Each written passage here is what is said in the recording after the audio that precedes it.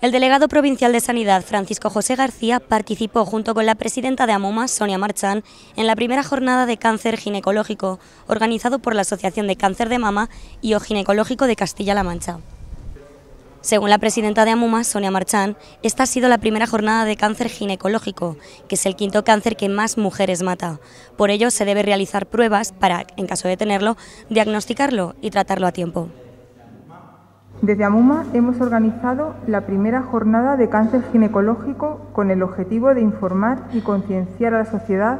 sobre este tipo de tumores que actualmente, según datos de la Sociedad Española de Oncología Médica, representan la quinta causa de muerte en la mujer tras el cáncer de mama, pulmón, colon y páncreas. El formato que hemos elegido para llevar a cabo esta jornada es una mesa redonda a la que hemos invitado a distintos expertos que abordarán el cáncer ginecológico desde distintos puntos de vista y también contaremos con el testimonio de una paciente que contará en primera persona cómo vivió la enfermedad. Por otro lado, Francisco José García afirmó que gracias a este programa tenemos resultados positivos y también destacó que cuentan con un programa de prevención para detectar precozmente el virus del papiloma humano. Los niños además ya han empezado a ser vacunados. Lo más importante de todo es detectar precozmente, porque la gran mayoría de citologías que se hace son negativas para cáncer de cervix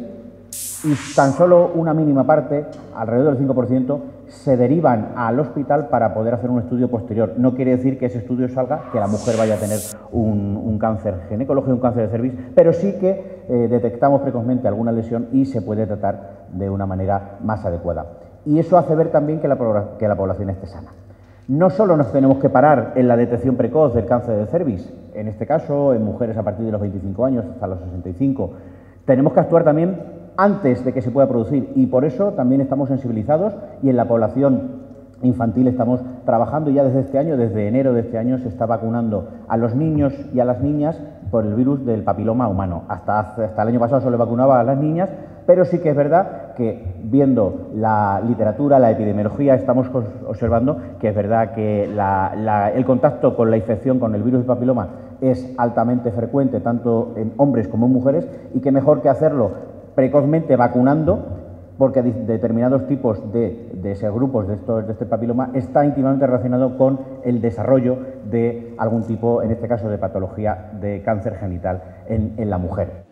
Esta primera jornada de cáncer ginecológico se llevó a cabo en el patio del Museo de la Merced.